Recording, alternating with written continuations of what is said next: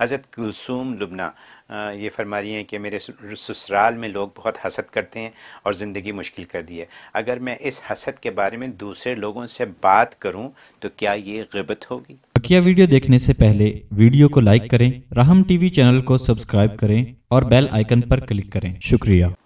ये बड़ा अच्छा सवाल किया आपने। और उसमें एक ऐसे लोगों से आप बात करें कि जिनसे बात करके आपको कोई इतमान तसल्ली मिल सकती है, आपका दिल हल्का हो सकता है तो ये जो है गीबत नहीं है। क्योंकि कुरान करीम में अल्लाह तबारक व ताल ने मज़लूम को इजाज़त दी है कि जिस पर ज़्यादती जुल्म हो रहा है, जैसे जिसे आपके हसद किया जा रहा है, आपको अजियत, तकलीफ़ दी जाती है तो ये बेचारा मज़लूम है। इसके लिए जायज़ है कि वो जो जुल्म तो उसकी दास्तान किसी दूसरे से शेयर करे, ताकि उसकी दिल को तसली और दिल जो है हल्का हो जाए। इसे छठा पारा, ला यूहिबुल्लाजहरा बिसुई। ये जो फरमाया कि अल्लाह ताला बुरी बात को पसंद नहीं करते, इल्ला मंजुली, मगर वो शख्स जिस पर जुल्म हुआ वो। इससे जो है मुफसर फ़ा फरमाते हैं कि ऐसे शख्स को बिल्कुल इजाज़त है, वो गीबत में दाखिल नहीं है।